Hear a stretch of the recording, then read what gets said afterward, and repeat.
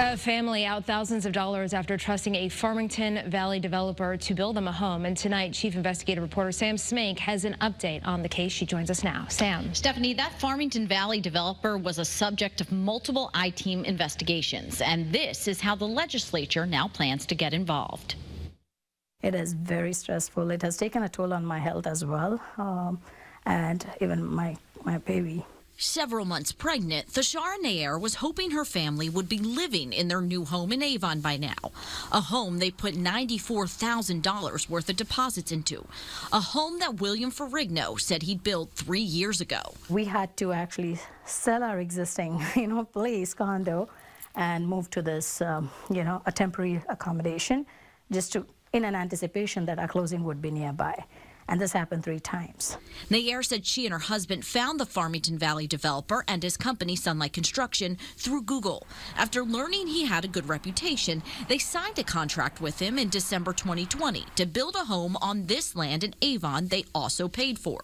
In the past three years, they have had three closing dates, and today, just the shell of a home to show for it. We don't know uh, any idea on when we're going to have either the house or the money you know, so it's it's it's very stressful. Nair and her husband are suing Ferrigno.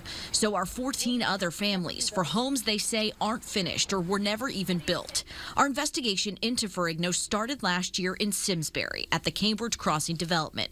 There, not only are many homes still unfinished, current residents say their sewer and drainage systems are incomplete, and sidewalks, roadways, and lighting remain undone. Because Cambridge Crossing is a private community, the town of Simsbury says Ferrigno is is in charge. It's both sad and outrageous to hear that this has gone on as long as it has. State Representative Eleni Kavros DeGraw is chair of the state's Planning and Development Committee.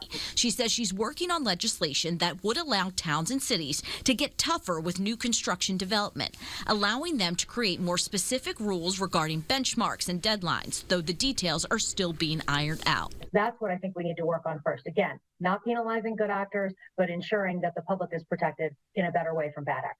At Cambridge Crossing, the town of Simsbury is using a $30,000 bond for Ferrigno put down to help fix up the development.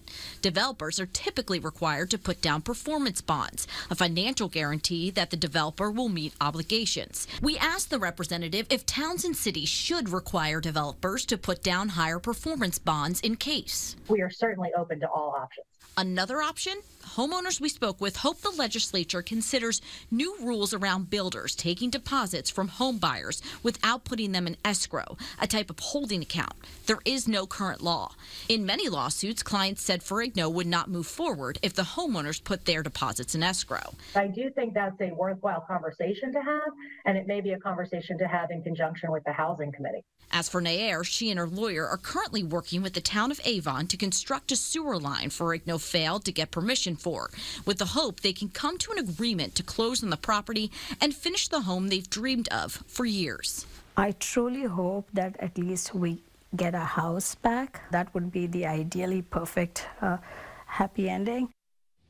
Ferrigno is currently facing four criminal charges related to his failure to construct homes and return deposits. He is expected in court to face a judge in February. We reached out to Ferrigno. He has not returned our calls. In court filings, his lawyer has denied many of the claims. Sam Smink, Channel 3 Eyewitness News.